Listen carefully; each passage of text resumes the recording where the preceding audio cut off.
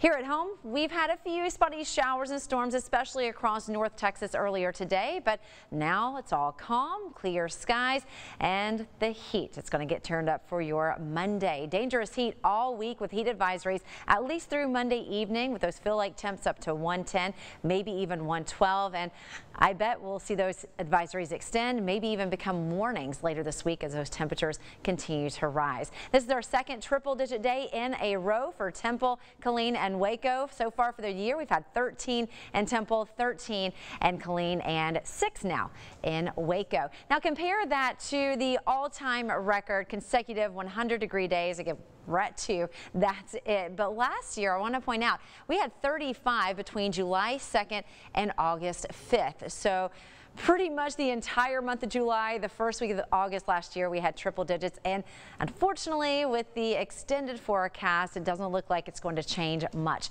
In fact, through mid to late July, likely above average temperature wise across the desert southwest, also into uh, Texas and then across the east. Uh, we're not even looking at temperatures below normal for most of the entire country. Now, precip wise, you can see likely below, a little bit drier uh, to our north. Here's what we're going to expect as we go into your Monday.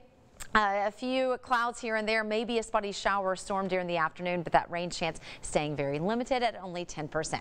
77 degrees overnight tonight. Tomorrow we're looking at a high of 100. And here's a look at your seven day triple digits all the way through next weekend.